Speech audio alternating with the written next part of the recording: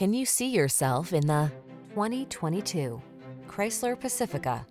With less than 30,000 miles on the odometer, this vehicle stands out from the rest. The Chrysler Pacifica, the super safe minivan with a light, agile feel and loads of passenger-friendly amenities. When it comes down to it, is there anything more important than safety in a family vehicle? Drive the Pacifica.